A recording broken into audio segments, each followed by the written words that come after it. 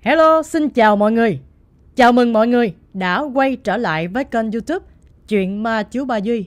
Chúc mọi người có một buổi nghe chuyện ma thật là hấp dẫn nha. Tập truyện hôm nay rất là hấp dẫn nha mọi người. Hôm nay chúng ta lại tiếp tục đến với những câu chuyện ma của những bạn khán giả đã gửi về cho kênh của Duy kể lại.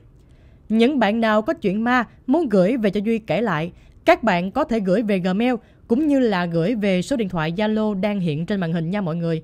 Duy cảm ơn mọi người rất là nhiều. Theo như những lời yêu cầu của các bạn ở những tập gần đây, các bạn muốn Duy kể về bùa ngải. Và hôm nay là một cái tập truyện như thế. Tập truyện hôm nay khi mà Duy đọc, Duy thấy nó quá trời hay đi. Thành ra Duy sẽ kể ngay trong ngày hôm nay cho mọi người nghe.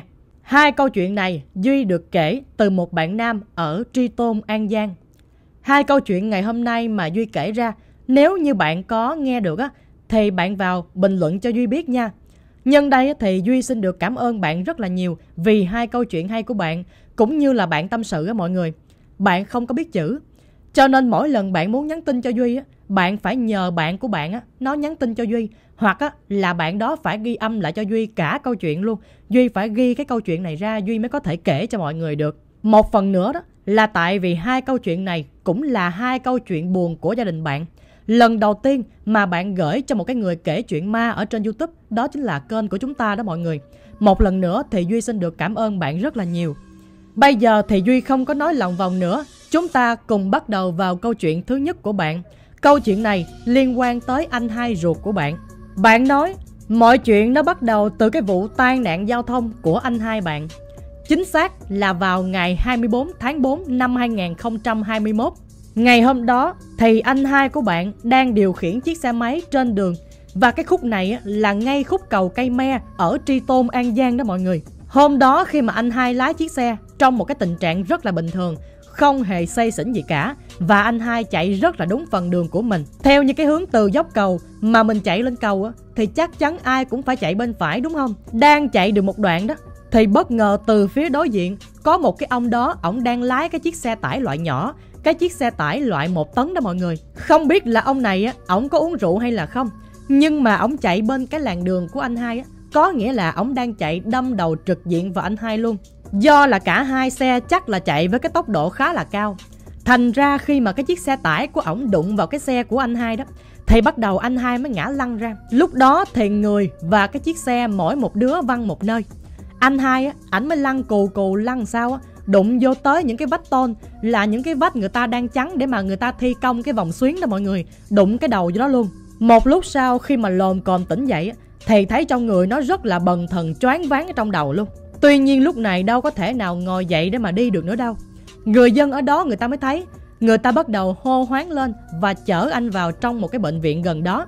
Khi mà vô bệnh viện á bác sĩ người ta nói á, anh đã bị gãy hai cái giò một cái chân còn toàn cơ thể thì nó bị trầy trụa xô xát rất là nhiều. Nói chung bị trầy nát cái người luôn đó.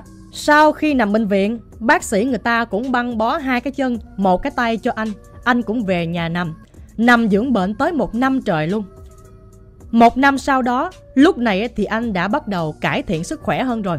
Tuy nhiên anh vẫn còn đi chập chững nha. Cái chân với lại cái tay vẫn còn rất là yếu. Chắc là tại vì gãy khá là nặng đó.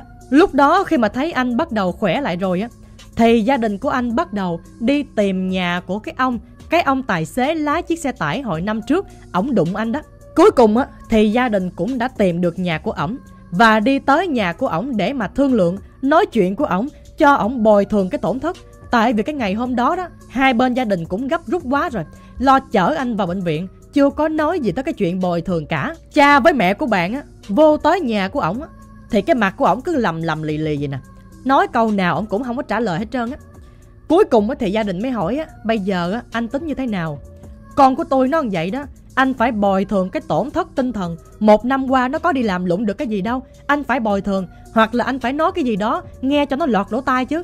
Tại sao mà anh không có nói cái gì hết trơn vậy? Nói tới như vậy luôn á, ổng vẫn không nói gì luôn mọi người. Cho nên mẹ của bạn mới nói á, Thôi được rồi, Nếu như mà tôi nói tới như vậy Mà anh không có động thái gì thì thôi. Chắc tôi phải nhờ chính quyền giải quyết quá Mọi người biết ổng nói như sao không Ông nói ừ cũng được nữa Thôi bây giờ chị đi thưa đi rồi tôi đi hầu Chị cứ đi thưa đi không sao hết á Lên tới nhà ổng Thương lượng với ổng không được mà nói những cái lời như vậy ổng còn không chịu nữa thì thôi về chứ làm gì giờ. Tuy nhiên một tháng sau, thấy cũng không có chịu nổi nữa. Thành ra thì mẹ của bạn một lần nữa lại lên nhà của ổng. Lần này lên nó thì cũng y chang như lần trước. Ổng không có nói năng gì cả, mà cái thái độ rất là khó chịu, khó ưa dữ lắm. Tuy nhiên cái lần đó thì ổng phản ứng dữ hơn nha. Ổng nói bây giờ nhà mày muốn làm gì thì làm đi. Thưa đi thì tao đi hầu, không có gì hết á. Tại sao mang cái mặt lên nhà tao hoài vậy? Lúc đó khi mà mẹ của bạn chưa kịp ra khỏi nhà của ổng nữa Thì ổng mới vô trong nhà trong á Ổng vác dao ra Ổng mới nói tụi bay mà còn ở nhà tao á Tao chém chết mẹ tụi bay luôn Bây giờ tụi bay đi về chưa Sau đó thì cũng luống cuốn đi về Đợi tới tầm một thời gian ngắn sau Lúc này thì ở trên cơ quan chính quyền người ta cũng đã gửi cái giấy triệu tập ổng để mà hai bên gia đình cùng đi để mà giải quyết với nhau. Tới cái lúc mà có giấy triệu tập rồi đó nha, ổng vẫn không có chịu đi luôn mọi người. Lần đó thì mẹ có lên nhà ổng một lần nữa Tuy nhiên thì vẫn như những cái lần trước Ổng còn tạt nước thẳng vào người mẹ của bạn nữa Thôi thì lần này đi về luôn Không có lên nhà ổng nữa Và cũng kể từ cái lần đó Anh hai của bạn bị ổng bỏ bùa chà là và bùa Khmer. Do là cái vết thương của anh hai kể từ ngày bị tai nạn á Nó cũng một năm mấy rồi. Thành ra lúc này ảnh cũng không có còn đau đớn gì nữa cả. Chỉ có điều là khó khăn trong việc đi lại thôi Tại vì cái chân á, nó vẫn còn yếu. Tuy nhiên không biết làm sao Kể từ khi gia đình của bạn lên tới nhà của ổng Thì anh hai của bạn bắt đầu đau trở lại. Không phải đau chỗ nào hết á Mà ảnh đau những cái khớp tay khớp chân á. Cái chỗ nào mà hồi năm trước bị gãy á Bắt đầu nó lại đau trở lại. Nó đau buốt luôn. Y chang như là ai bẻ từng đốt xương của ảnh vậy đó. Không những như vậy, Lúc này mỗi ngày ảnh bắt đầu chảy máu cam, Ho ra máu và ói ra máu luôn. Lúc này thì gia đình thấy sao mà kỳ vậy trời? Tại vì bây giờ vết thương nó cũng lành rồi mà. Tại sao bây giờ y chang như là hồi lúc nó mới vừa bị tai nạn, nó đau, sao bây giờ nó đau y chang như vậy đó? Cho nên nhà cũng tức tốc chở lên trên bệnh viện. Lên đó thì người ta nói, trời ơi, đâu có cái gì đâu. Thôi thì bác sĩ người ta cũng kết luận, người ta nói chắc có thể uh, cái vết thương cũ á bây giờ nó nhiễm trùng thôi. Chắc là thôi tôi cho uống thuốc giảm đau thôi nha chứ cũng đâu có gì đâu mà khám. Khi mà cho thuốc uống xong á nó cũng đỡ một chút thôi. Tuy nhiên về tới nhà một hai ngày sau bắt đầu nó lại đau y chang như vậy nữa. Gia đình á, cũng tức tốc đưa đi bệnh viện. Nhưng mà bệnh viện người ta nói á, Bây giờ khám nó không có ra bệnh. Tuy nhiên bệnh viện người ta nói á, Đau thì đau Nhưng mà người ta đâu có khám ra bệnh đâu. Thôi nếu như mà gia đình muốn biết chắc chắn kết quả đó Chở thằng bé này lên bệnh viện Nhi Đồng đi, Ở trên Sài Gòn á. Thế rồi gia đình của bạn cũng chở lên trên tuốt trên bệnh viện Nhi Đồng á. Lên đó người ta cũng nói đâu có gì đâu, Người ta cũng kê thuốc giảm đau cho uống thôi à. Về nhà thì lại bị tiếp, Cho nên lúc này chú Tư trong nhà, Chú mới thấy lạ. Chú nói, trời ơi, Có khi nào thằng nhóc này nó bị người ta thư ếm không trời? Có khi nào nó bị bỏ bùa không ta? Sao mà cái dấu hiệu này tôi thấy quen lắm nha. Tại vì mỗi lần ai bị bỏ bùa Đi khám bác sĩ không có ra bệnh. Thế là lúc này Chú Tư ổng mới chỉ cho cha mẹ bạn biết một cái ông thầy. Ông thầy này ở trên xóm trên á Cách nhà bạn tầm khoảng 10 cây số. Rồi cũng dẫn anh hai đi lên tới trên đó. Cũng cho ông thầy biết là tên tuổi nè Ngày tháng năm sinh, giờ sinh. Khi mà thầy nhìn ra thì thầy nói cái bệnh này tôi không có chữa được. Cái thằng bé này nó bị bùa đó. Nhưng mà cái năng lực của tôi tôi không có làm được đâu. Tôi chỉ làm những cái nào nhẹ nhẹ thôi. Còn thằng bé này nó bị nặng quá thôi thì tôi chỉ cho gia đình một cái ông thầy này cao tay ấn hơn tôi. Ổng giỏi hơn tôi ổng chữa được những cái loại bùa nặng hơn. Nhà ông thầy này thì ở long xuyên. Anh chị cứ đi tới chỗ đó đi rồi tìm ông thầy đó nha. Chứ tôi thì tôi không có làm được. Theo như cái sự hướng dẫn của cái người thầy này đó thì gia đình cũng lặn lội xuống dưới long xuyên tìm cái người thầy kia. Khi mà tới được nhà của thầy đó, thầy cũng tìm ra được cái nguyên nhân mà anh hai của bạn bị chính là bị người ta bỏ bùa. Mà thầy nói cái người đó nó bỏ bùa chà là với lại bùa của người Khmer. Cái bùa này cũng rất là mạnh nha. Mà cái người thư cái lá bùa này nó thư mạnh tới nỗi hiện tại tôi đang thấy có mấy con quỷ nó đè lên người thằng nhóc này nè. Nó lấy những cây kim á, nó chăm chích vô những cái đốt khớp xương của thằng nhóc này cho thằng này nó đau như vậy đó. Kìa, hiện tại tôi còn đang thấy nó đè lên những cái khớp xương của thằng nhỏ này nè. Khi mà gia đình chưa kịp nói gì hết trơn á, thì thầy ổng phán quá đúng rồi. Cho nên gia đình cũng thấy rất là hay. Lúc này thì thầy mới nói, chỉ có hai cách giải quyết thôi. Một là gia đình phải đi lên trên nhà của ông đó, thương lượng với ổng, hỏi ổng bây giờ ổng có thể nào gỡ cái lá bùa này ra cho thằng nhóc này được hay không. Còn không thì bắt buộc gia đình của chị phải ém ngược lại ổng nha. Thôi thì trước mắt chị phải lên nhà của ổng một lần nữa để mà thương lượng với ổng đi coi như thế nào. Nếu mà thương lượng được hay không á Cũng phải về đây báo cho tôi biết nha Khi mà nghe thầy nói như vậy á Gia đình của bạn đã chọn cái cách là lên trên nhà của ổng Để mà thương lượng với ổng. Mẹ cũng lên trên nhà của ổng đó. Nói là bây giờ á, Tôi biết anh thư ém con của tôi á. Thôi bây giờ tôi xin anh. Anh có thể nào gỡ bùa ra cho thằng con của tôi được không anh? Nhưng mà ổng vẫn chối leo lẻo mọi người. Ổng nói là ổng đâu có làm cái gì đâu. Tôi không làm gì hết trơn á. Bò ngã gì ở đây? Rồi mẹ mới nói. Mẹ bực rồi. Mẹ nói với ổng á Ừ thôi được rồi. Nếu như bây giờ á anh vẫn khăng khăng anh nói Anh không có thư ém con của tôi Thì thôi được rồi. Trường hợp xấu nhất là tôi sẽ thư ngược lại anh nha. Lúc đó thì ổng mới nói một câu vậy nè. Tụi bay muốn làm gì tụi bay làm Tụi bay làm được thì tụi bay hãy làm nha. Ngày hôm sau Gia đình của bạn quay trở ngược lại nhà của cái người thầy ở Long Xuyên á. Lúc này á, thì thầy mới cho anh hai nằm trên một cái chiếc giường. Là cái chiếc chõng đó mọi người. Ở dưới nó sẽ có một cái khoảng trống nha. Thì bắt đầu thầy mới bày đồ ra. Thầy mới lấy bốn chén gạo á, Thầy để ở bốn góc giường, Để một cái chén muối để ở dưới giường mà chính giữa cái giường luôn nha. Đặt lên trên bụng của anh hai là một cái mâm. Trên đó thì gồm có một cái dĩa có mấy quả trứng gà nè Và ba chén nước trà trên đó. Mấy cái chén nước trà này cũng là những cái chén nước trà mình uống bình thường thôi nha. Sau một hồi thầy đọc một cái bài chú gì đó không biết. Mọi người biết không? Bạn nói những cái chén nước trà này á Bắt đầu nó chuyển sang một cái màu đỏ thẫm Y chang như là máu mà mình pha trong nước vậy đó. Xong rồi thầy mới đập những cái quả trứng gà. Xong rồi thầy mới lấy những cái quả trứng gà này ra Và thầy đập nó. Tất cả những quả trứng gà này, Quả trứng nào cũng có nè. Nào là bùa nè ha, Rồi tóc nè. Kim chỉ nó quấn với nhau Và bồ lon con tán rất là nhiều. Những cái ốc vít nè mọi người, Không biết nó nhét kiểu gì Mà nó nhét được vào trong cái trứng gà đó. Ngay tại thời điểm đó, Khi mà thấy con mình tại sao bị người ta yếm ghê rợn mà ác độc như vậy á, Thì mẹ mới nghĩ trong đầu Mẹ nói thôi bây giờ thương lượng với ổng cũng không được. Bây giờ bất chấp đi. Nói với thầy Thư ém ngược lại cái người đàn ông đó. Thế là thầy cũng chấp nhận Thư ém ngược lại ổng nha. Nhưng mà cái quá trình ông thầy thư lại ổng á như thế nào á thì mẹ không có được biết và gia đình của bạn cũng không có biết luôn. Chỉ biết á, là đã thư ém ổng rồi đó. Sau khi mà gia đình của bạn đã ém ông đó được một khoảng thời gian đó Lúc này á, thì một ngày đó Tự nhiên ổng xuống nhà của bạn Ổng nói chuyện với mẹ. Cái ngày hôm đó đó Thì ổng vô nhà Ổng mới nói thẳng luôn á là chị Tôi thừa nhận là tôi bỏ bùa con của chị á Bây giờ chị có cách nào Chị gỡ cái bùa đó ra được không Tại vì á Ở trên ông thầy của tôi á Ổng không có gỡ cái lá bùa này ra được Tôi biết là chị đã ếm ngược lại tôi rồi Tuy nhiên, mẹ của bạn cũng không hề ghét bỏ gì ổng cả. Tại vì ổng đã quay lại ổng đầu lụy mình rồi. Ổng quay lại để mà ổng thừa nhận rồi. Còn cái gì nữa đâu. Thì lúc này, mẹ cũng dẫn cái người đàn ông đó xuống tận nhà của người thầy với Long Xuyên á, cho thầy gỡ cái bùa của ổng ra.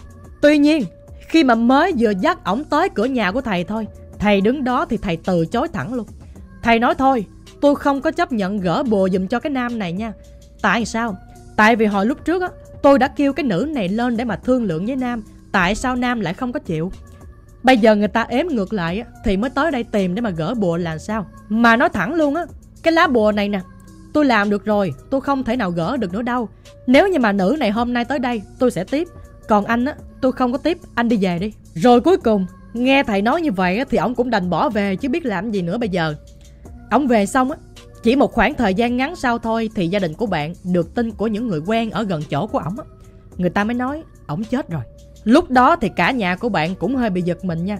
Tại vì không ngờ cái lá bùa đó lại mạnh như vậy. Sau khi mà ổng chết á, thì bắt đầu cái người vợ của ổng mới xuống tận nhà của bạn tìm mẹ của bạn để mà nói chuyện một lần nữa. Lần đó thì vợ của ổng xuống nói với mẹ là chị chồng tôi á, ổng cũng chết rồi. Thôi bây giờ á, tôi thường cho chị 5 triệu nha. Chị ráng cầm giúp tôi đi chứ bây giờ tôi cũng khó khăn Chị cầm 5 triệu đi chị Chứ nếu như mà chị không lấy tiền á Mà chị vẫn còn để cái đơn thưa kiện á Nếu như mà ổng chết rồi á Thì chắc chắn tôi cũng sẽ đi hầu tòa thôi Tại vì cái lỗi này á là lỗi của chồng tôi Ổng chạy sai cái phần đường, Cho nên là ổng đâm cái thằng nhỏ này bây giờ Nó thành ra nông nổi như vậy đó. Khi mà mẹ thấy cái người đàn bà này, người ta cũng đã biết quay đầu rồi, Người ta cũng đã đưa tiền lại cho mình, Thì thôi, mẹ mới nói là ừ cũng được nữa, Bây giờ bao nhiêu cũng được hết á. Cuối cùng thì mẹ đã rút cái đơn kiện đó lại, Không có kiện nữa. Ngay tại thời điểm đó thì tình hình anh hai của bạn cũng đã ổn hơn rất là nhiều rồi nha. Mới có khỏe lại được có một khoảng thời gian thôi à. Thì bất ngờ cái đợt dịch Covid-19 nó ập tới mọi người Tại vì cái thời gian mà ảnh bị tai nạn nó cũng năm 2021 rồi. Cộng thêm nữa là sức khỏe của ảnh rất là yếu. Một cái người vừa khỏi bệnh Vừa thoát khỏi một cái cơn bạo bệnh á, Thì rất là dễ bị Covid nó xâm nhập. Sau khi mà dính bệnh á, Thì anh được người ta đưa vô trong một cái khu cách ly. Tuy nhiên nằm trong đó Thì sau một tháng trời mọi người không thấy anh có sự tiến triển. Cuối cùng thì anh hai của bạn đã mất. Gia đình của bạn thì cũng buồn lắm chứ. Nhưng mà suy nghĩ lại cái chuyện buồn ngãi Tại vì gia đình bạn cũng đã lỡ ém hại cái người đàn ông kia. Cho nên mẹ của bạn cũng biết, Nghiệp thì phải trả nghiệp. Kể từ sau cái ngày mà anh hai của bạn mất á, Ở nhà cũng lo đám tang chôn cất đồ xong hết trơn á Thì sau 49 ngày, Cái đêm đó mẹ của bạn thấy anh hai về. Hôm đó thì anh hai về mà ảnh khóc quá trời luôn. Ảnh than với mẹ. Ảnh mới nói, Mẹ ơi, Con á, Con chưa có tới số chết mẹ. Cái ngày mà hôm đó con chết á, Có hai ba con quỷ luôn. Nó đè lên trên người của con á. Nó bóp cổ con làm cho con không có thở được. Cho nên con mới chết á. Chứ không thôi con chưa có chết đâu. Mẹ cứu con đi mẹ. Con khổ quá à. Tuy nhiên lúc này trong cái vía của mẹ đó Mẹ mới nói với anh hai là con ơi Nghiệp thì phải trả nghiệp thôi. Con ráng mà đi tu nha con. Chứ mẹ có thể giúp được gì cho con thì mẹ sẽ giúp. Nhưng mà con 49 ngày á Mẹ cúng cơm cho con á Con có ăn được không vậy? Thì anh hai mới trả lời á. Con đâu có ăn được đâu mẹ Tại vì trong nhà mình á Có người canh cổng Không có cho con vô. Với lại mấy ông thần ở trong nhà Ông đâu có cho con vô nhà đâu mà ăn cơm. Lúc đó thì mẹ mới sực nhớ lại phải rồi. Ở trước nhà của bạn á, có để hai cái con hổ rất là to luôn. Sau cái đêm hôm đó khi mà mẹ thấy anh hai về á, thì mẹ điện cho bạn liền luôn. Bạn nghe xong á, thì bạn khóc rất là nhiều. Ngay tối đêm đó bạn cũng thấy anh hai về nữa. Tuy nhiên thì anh hai cũng dặn dò bạn rất là nhiều. Đặc biệt là anh phải dặn là tính. Cần ở nhà phải ngoan nha, Phải nghe lời mẹ Sau này đi làm á, Hạn chế, Không có được vụng về nữa Làm tới đâu á, Đổ tới đó. À. Sau này làm cái gì á, Phải cẩn thận hơn nghe chưa, Không có làm đổ bể nữa Lần này anh hai về á, Chắc là lần cuối rồi Ở nhà ráng sống tốt, Lo cho mẹ nha Nói xong thì anh hai của bạn Cũng biến mất tiêu luôn và đó là lần cuối cùng bạn cũng như gia đình của bạn thấy anh hai hiện về. Chắc có lẽ là anh hai của bạn cũng đã đi rồi đó. Thế là chúng ta đã khép lại câu chuyện thứ nhất, một câu chuyện khá là ly kỳ về anh hai của bạn. Tiếp theo là câu chuyện thứ hai. Đây là một cái câu chuyện có thể nói, nó là một cái câu chuyện về bồ ngải, chấn động cả Tri Tôn cái thời điểm năm 2001, 2002 đó mọi người. Nếu như mà ai ở cái khu vực cầu Tri Tôn á, thì chắc chắn sẽ biết cái câu chuyện này một cái câu chuyện về bùa ngải của mẹ bạn. Cái câu chuyện này á, nó xảy ra hồi năm 2001, 2002. Lúc đó thì mẹ đã đẻ anh hai của bạn ra rồi nha. Thời điểm đó, mẹ của bạn có mở một cái sạp bán rau ngay tại cầu Tri Tôn luôn. Nhưng mà bạn nói cái sạp của mẹ cũng là một trong những cái sạp rau khá là lớn trong cái chợ này. Và cái chợ này người ta gọi là chợ trời. Nói chung thì xung quanh cũng có những cái bà bán rau cải Nhưng mà mẹ của bạn vựa đồ khá là nhiều Cho nên cái tiệm cũng khá là lớn đó Cái hôm đó mới có sáng sớm à Mẹ đang loay hoay chuẩn bị mở hàng ra để mà bán buổi sáng đó thì mẹ mới thấy từ xa Có một cái bà đàn bà Bà bước lại cái sạp này của mẹ Để mà bà mua rau. Hỏi bà mua cái gì á Thì bà nói bà mua bắp chuối bào. Dân ở trên Tri Tôn, Long Xuyên á Người ta ăn bún cá rất là nhiều. Bà này bà cũng là một cái bà bán bún cá châu đốc đó mọi người. Cho nên mẹ mới hỏi là chị Bộ ờ, chị mới ra bán hả? Bà mới nói là ừ Chị mới ra bán nè. Cho nên ờ, chị ghé đây chị mua bắp chuối bào về để mà chị bán bún cá cho người ta. Tuy nhiên khi mà đưa cho bà đó Mẹ mới nói là nè chị Bắp chuối bào nè. Bà hỏi nhiêu thì mẹ trả lời là 5 ngàn chị. Bắt đầu bà trả giá. Mới có sáng sớm à Chưa mở hàng nữa thì gặp bà trả giá là hơi bực rồi đó. Mẹ mới nói chị Cái này 5 ngàn mới được 4 ngàn không có được. Tại vì em không có lợi nhiêu trơn á Lời có mấy trăm đồng à. Chị trả giá ngàn đồng rồi. Tuy nhiên á, thì cái bà đàn bà kia bà nói Trời ơi Thời buổi này rồi Lời lớn cái gì mà mấy trăm đồng. Cái bó này ít ra là cũng phải lời một hai ngàn á, Chứ không có lời mấy trăm đồng đâu. Cũng do là đang mở hàng Cho nên mẹ hơi bực trong người rồi. Mẹ nói thôi em bán 5 ngàn hả? Em không có bớt được. Chị à, mua rẻ hơn thì thôi chị qua mấy cái sạp cái bên á. Chị qua bên đó coi người ta bán làm sao rồi chị mua. Được thì chị mua thôi. Rồi bắt đầu bà mới qua bên mấy cái sạp rau kế bên á Bà mua ở bên đó. Cứ tưởng đâu á Buổi sáng hôm đó bà không mua thì thôi kệ bà. Tuy nhiên năm ngày hôm sau Bà quay trở lại. Hôm đó sáng sớm bà cũng tới Bà mua rau. Nhưng mà lần này bà mua nhiều hơn lần trước nha. Bà mua nhiều hơn. Cái bó của bà thì tới 6 ngàn lận. Mẹ mới nói thôi em lấy chỉ 5 ngàn thôi. Tuy nhiên lần này bà không có trả giá mọi người. Bà nói thôi bán nhiều bán đi không có trả giá. Lần này thì mẹ thấy bà cũng dễ thương. Không có còn trả giá khó ưa như là năm ngày trước nữa. Lần này thì mẹ thấy bà cũng dễ thương. Không có còn trả giá khó ưa như hồi lúc trước nữa. Lúc này thì bắt đầu bà hỏi tới tấp luôn. Bà hỏi mẹ rất là nhiều. Bà hỏi cưng à, ờ, Nhà cưng ở đâu? Rồi à, nhà có mấy người? Chồng cưng tên gì? Rồi cưng tên gì? Mẹ cũng tưởng đâu á Cái bà này cũng gần ở chòm xóm mình.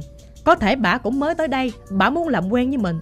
Thì chị em trong xóm mà Bạn hàng với nhau thì trao đổi nói chuyện cho vui thôi. Sau này bà còn mua đồ của mình dài dài.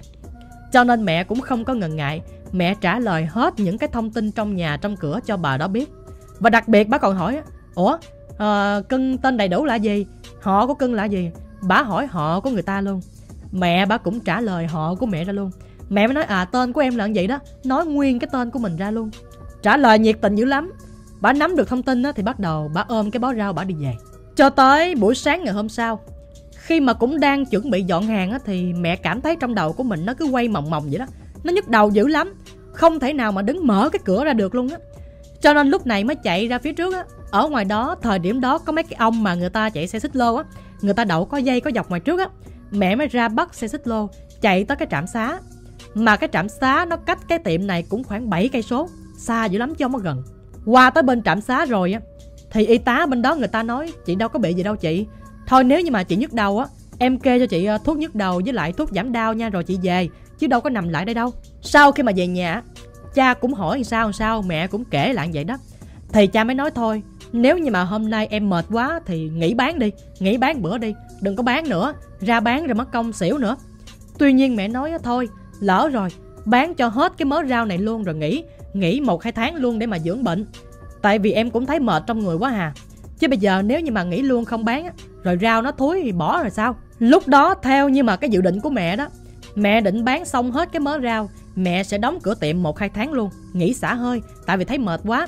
Nghỉ để mà đi về bên bà ngoại chơi. Khi mà đóng cửa đó, Thì mấy cái bà bán đồ ở trong cái chợ này, Người ta đâu có ai bán được đâu. Người ta cũng đóng cửa dẹp hết. Tại vì cái tiệm của mẹ là cái tiệm rau lớn nhất ở trong đó. Nếu như mẹ đóng cửa, Thì khách người ta cũng không có vô cái chợ này mua làm gì nữa hết trơn á. Thay vì chỗ đó, người ta đi thẳng lên cái chợ lớn ở trên người ta mua. Cho nên là mấy cái bà bán ở trong cái chợ nhỏ đó cũng bị ảnh hưởng theo mẹ luôn. Mấy bà đó cũng hỏi Hỏi mẹ là chị Chị nghĩ chừng nào chị bán lại? Chị bán lại thì chị nói cho tụi em biết để mà tụi em lấy đồ về bán nha.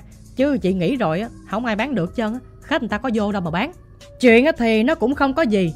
Cho tới mấy ngày hôm sau, Khi mà mẹ chuẩn bị qua bên nhà của bà ngoại để mà chơi bên đó. Hôm đó, tại vì bà ngoại cũng biết là một tí mẹ sẽ về bên đó chơi, Cho nên bà ngoại đi chợ rất là sớm. Bà ngoại đi chợ Bà ngoại khóa cửa nhà, Có để cái chìa khóa ở dưới cái bàn ông Thiên trước cửa nhà đó. Bà ngoại mới nhắn với mẹ là, Má đi chợ. Một hồi con về nhà, Lấy cái chìa khóa phía trước nhà ra, Mở cửa, Rồi quét dọn nhà giùm má nha. Mẹ qua tới bển cũng mở cửa ra, quét dọn nhà cửa. Khi mà đang đi ra tới phía trước quét nhà thì bắt đầu lại say sẩm mặt mày. Nhức đầu dữ lắm, nhức đầu tới nỗi mà không thể nào đứng vững được luôn á. Cho nên lúc này mẹ của bạn đã ngã quỵ xuống. Ngã làm sao á? Đập cái đầu thật là mạnh vô trong cái chân của cái giường gỗ á mọi người. Mà mọi người biết cái bộ ly quan hồi đó nó có những cái khía khía lòi ra ngoài á, đập vô cái góc nhọn đó đó. Mà cũng hên sao lúc này khi mà mẹ mới vừa té xuống đó, thì cũng đúng lúc bà ngoại đi chợ về luôn. Bà ngoại bà chạy vừa tới trước nhà thôi, Bà cầm cái giỏ sách rau trên tay nè, Bà thấy mẹ bạn té sóng xoài vậy đó. Thì bà ngoại, bà buông luôn nguyên cái giỏ sách rau, Cái giỏ sách rau nó văng tung tóe khắp cả nhà luôn. Bà ngoại bà mới ẩm mẹ lên, Bà hỏi, con con bị gì vậy? Con bị sao vậy? Bà ngoại mới la lên nói, làng xóm ơi con gái tôi nó bị gì nè? Lợi cứu con gái tôi đi. Thì lúc này người dân ở đó người ta mới bu lại. Rồi người ta mới xốc mẹ của bạn chở lên cái chiếc xe xích lô á, đưa ra trạm xá. Lên trạm xá về rồi, hai, ba ngày sau cũng lại bị y chang như vậy. Mà bị nặng hơn nha, lúc này không những mẹ của bạn bị nhức đầu say sẩm đâu, mà còn bị nhức ở những cái đầu khớp. Trên cơ thể của mình có bao nhiêu khớp là mẹ của bạn bị nhức bấy nhiêu chỗ đó. Nhiều lúc mẹ của bạn đau tới nỗi cứ ngồi thơ thẩn vậy nè. Không biết tại sao mà tự nhiên cái thời gian này cái người của mình nó ê ẩm mà nó ghim hết mình hết trơn vậy trời. Giống như là từng bộ phận nó chuẩn bị rớt ra vậy đó. Có khi nào chắc là do mình nằm giường tre thành ra mình nó bị như vậy không? Sao mà kỳ quá à? Những cái khớp của mình giống như là có kim á, nó đâm vào từng thớ thịt của mình mà cả ngàn cái mũi kim á, nó đâm từ đầu cho xuống tới bàn chân luôn nha. Một điều lạ đó, mẹ nói cứ mỗi lần mẹ lên những cái cơn đau như vậy á, Thì bên tai của mẹ y chang như là mẹ đang ngồi trong chùa Khmer vậy đó. Có những cái ông thầy xung quanh, Ông ngồi mà ông cứ đọc kinh, Đọc chú thẳng vào cái lỗ tai của mẹ. Mẹ cứ nghe râm ran những cái tiếng kinh, Rõ ràng là những cái tiếng tụng kinh bằng tiếng Khmer. Càng nghe thì càng đau đầu, Y chang như là cái lúc mà Bồ Tát đọc chú vào tai của Tôn Ngộ Không vậy đó. Lúc đó thì mẹ mới sực nhớ lại, Bà ngoại có dặn mỗi lần như vậy thì đọc chú Đại Bi nha con. Mẹ cũng đọc chú Đại Bi thì bắt đầu nó mới đỡ từ từ. Sau đó thì bà ngoại có đưa cho mẹ một cái sợi dây màu đỏ đeo lên cổ. Nhưng mà mẹ không có đeo lên cổ. Mẹ mới lấy cái sợi dây đó quấn vô cổ tay để mà đeo. Sau hai ngày cũng bị đau đớn như vậy nữa, Gia đình cũng lại tiếp tục chở lên trạm xá. Người ta nói là, trời ơi, Có cái gì đâu mà chở lên đây hoài vậy? Người ta có khám ra bệnh đâu. Rồi cũng chở về nhà. Cho tới đâu nửa tháng sau Lúc này mẹ lại đau hơn nữa. Đã đau dữ dội rồi, bây giờ còn đau hơn nữa đó. Không những có cái cảm giác là những cái mũi kim nó đâm vào từng thớ thịt đâu. Lúc này mẹ lại có cảm giác Giống như là có ai luồn cái tay vào trong những cái gan những cái tim của mẹ để mà môi gan môi tim ra gì đó. Tại vì cái cảm giác của mẹ nó rất là đau nhói nó nhột mà y chang như ai móc cái tim của mình ra ngoài vậy đó. Trong những cái cơn vật vã đó, mỗi lần như vậy thì mẹ ngồi thẫn thờ vậy nè ngồi nhìn ra ngoài trước nhà y chang như bức tượng vậy đó. Cha ông mới đi tới ông mới vỗ vai nè ông hỏi là em em có làm sao không? Mà sao anh thấy em á nha một tháng nay rất là lạ có khi nào bị người ta thư ếm không vậy? Cho nên lúc này cha của bạn có đi hỏi bà ngoại, Má, Có khi nào vợ con nó bị người ta thư yếm không má? Chứ con thấy cái này lạ quá à. Tại sao mà đi khám bệnh Đâu ai nói có bệnh gì đâu. Về nhà nó cứ đau miết à. Cái này chắc là bị thư rồi má. Tuy nhiên riêng về cái vấn đề này thì bà ngoại không có tin nha. Bà ngoại mới phản bác, Bay Bay đừng có suy đoán tào lao. Có biết phải vậy không? Bây giờ nếu mà muốn biết chắc á, Thì đi thầy đi, Chứ bay đừng có nói suy đoán như vậy rồi thì ba cũng dẫn mẹ đi tìm thầy. Tuy nhiên thì bà ngoại không có đi theo. Bà ngoại nói thôi, Con dẫn vợ con đi làm gì làm đi. Cái chuyện tới thầy bà thì má không có đi đâu. Thế rồi cũng không biết được ai chỉ đường á. Cha của bạn đã dẫn mẹ đi một cái ông thầy này. Thầy này cũng ở Long Xuyên luôn. Tuy nhiên cho tới bây giờ thì thầy đó lưu lạc ở đâu gia đình của bạn cũng không còn biết nữa. Với lại cũng không biết người thầy đó hiện tại còn sống hay không. Tại vì bây giờ cũng đã mười mấy, hai chục năm rồi mà thời điểm đó, Ông thầy đó cũng đã tám mươi mấy tuổi rồi mọi người. Mẹ mới diễn tả đó. Cái đường đi vô nhà của cái người thầy này Nó cũng ngoằn ngoèo dữ lắm. Đường hẻm hóc tùm lum hết trơn à. Tuy nhiên cái đoạn đường này ngày trước, Cha của bạn đã từng đi làm qua. Cho nên á, khi mà người ta chỉ cái địa chỉ Thì cha có thể mường tượng ra được cái khúc đó. Tới nhà thầy á Thì thấy ông thầy, Ông đang ngồi uống trà ngay trước cửa. Thầy nói á, Hai người chạy tới đầu hẻm thôi á. Thì đã có người báo cho tôi biết là một tí có người tới tìm tôi nè. Cho nên tôi ra đây tôi ngồi tôi uống trà tôi đợi á. Tôi sợ là hai người không biết đường vô nhà tôi. Thôi thôi rồi tôi dẫn vô nhà rồi tôi nói chuyện cho nghe. Lúc này ông thầy mới dẫn mẹ của bạn vào trong giữa nhà của ông thầy. Giữa nhà đó phía trước cái bàn thờ nhà ông thầy á, thì ông thầy có trải một cái miếng vải màu đỏ. Mẹ ngồi lên trên cái miếng vải đó. Xong á thì thầy mới lật cái bàn tay của mẹ lên và để cái bàn tay của mẹ lên trên một cái ghế cốc cái ghế này là một cái ghế nhỏ thôi, nó cũng lùn lắm. Và cái ghế này cũng màu đỏ luôn nha. Thầy mới lật cái tay của mẹ lên. Thầy vẽ những cái chữ gì màu đỏ lên trên đó đó. Xong, thầy vừa vẽ vừa đọc chú. Sau đó thì thầy sẽ vẽ một cái chấm hình tròn rất là to ngay giữa cái lòng bàn tay của mẹ luôn. Khi mà thầy vẽ xong cái hình tròn á, Thầy nói cái cô nữ này nè, Bị bỏ bùa nặng quá. Mà bùa này á là bùa gốc của người Khmer luôn. Nhưng mà anh chị yên tâm cái bùa này tôi gỡ được, Không sao hết á. Bây giờ anh bỏ vợ của anh ở đây hai ngày đi. Tôi làm cho vợ của anh. Hai ngày sau, Sáng sớm hôm đó, anh tới đây. Rồi anh mua những cái đồ lễ của tôi á. Tôi dặn anh nè. Tuy nhiên á thì đồ lễ gồm những món nào, Mẹ không có nhớ. Trong hai ngày mẹ của bạn ở lại nhà của ông thầy á, Mẹ mới kể lại cho mọi người nghe. Trong hai ngày mẹ ở lại nhà của ông thầy á, Mẹ mới kể lại là cứ đúng 12 giờ đêm, Thầy bắt mẹ phải ngồi ngay giữa nhà của ông thầy, Vén cái lưng áo lên. Lúc đó thì thầy có cầm một cái lá bùa. Thầy vừa vẽ mà vừa đọc chú gì lên cái lá bùa đó. Vẽ xong thầy sẽ ịnh thẳng cái lá bùa đó vào lưng của mẹ. Sau khi mà dán vô lưng của mẹ thì mẹ lại xỉu mất tiêu luôn. Ngày hôm sau là cái ngày thứ hai cũng tiếp tục y chang như vậy. Cho tới hết cái ngày hôm sau Sáng ngày hôm đó là cha của bạn lại tức tốc đi tới nhà của thầy. Mang theo những cái đồ lễ mà thầy trước đó đã dặn đó. Sau khi cha của bạn cầm đồ lễ tới nhà của thầy á, Tới lúc đó thì thầy vẫn chưa có làm xong. Cha mới thấy thầy vẫn đang tiếp tục đứng đọc chú. Đọc chú xong á Thì thầy mới lấy ra một cái thanh kiếm gỗ Và cầm trên tay một cái lá bùa. Thầy mới lấy thanh kiếm gỗ này nè Thầy vuốt cái lá bùa đó nha. Xong thì thầy mới cầm ba cây nhang Thầy cắm vào cái lư hương. Ông thầy ông đợi cho tới khi nào á ba cây nhang này nè Nó cháy tới nửa cây nhang á Thì bắt đầu Thầy mới lấy cái lá bùa đó, thầy ịnh thẳng vô mặt của mẹ luôn. Xong thầy mới lấy cái cây kiếm gỗ Thầy quất tới tấp vô người của mẹ. Sau khi mà đánh xong vào người của mẹ đó Thì cha mới hỏi là cái gì vậy thầy? Sao mà vợ con thấy có vẻ nó đau đớn quá vậy? Lúc này thầy mới nói Thầy làm xong rồi đó. Tuy nhiên thôi bây giờ á, Hai vợ chồng đi về bên nhà đi, Rồi cho thầy cái địa chỉ nhà nha. Ngày mai thầy sẽ qua ha. Ngày mai thầy qua bên bển, Thầy làm bên nhà một cái buổi lễ nữa mới hết nha. Chứ bây giờ chưa có xong đâu. Tuy nhiên trước khi mà cha mẹ bạn trở về lại nhà đó, Thầy có cho mẹ bạn một cái sợi chuỗi để mà đeo vô tay. Đồng thời thầy mới dặn á, Bây giờ đi về nhà, Mua cho tôi một cái vỉ trứng gồm 12 quả trứng gà. Ngày mai trước khi mà tôi qua bên bển á, Đem cái vỉ trứng gà này để trên bàn thờ của quyền thất tổ đi nha. Đem để trên đó đi, Rồi tôi qua Chừng nào tôi kêu đưa cái vỉ trứng gà Thì lên đó lấy xuống đưa cho tôi. Bây giờ thì hai vợ chồng đi về đi. Qua ngày hôm sau, Đúng 11 giờ 30 phút trưa, Ông thầy bắt đầu qua tới bên nhà của bạn. Khi mà qua tới, Thầy mới bày biện đồ các kiểu ra.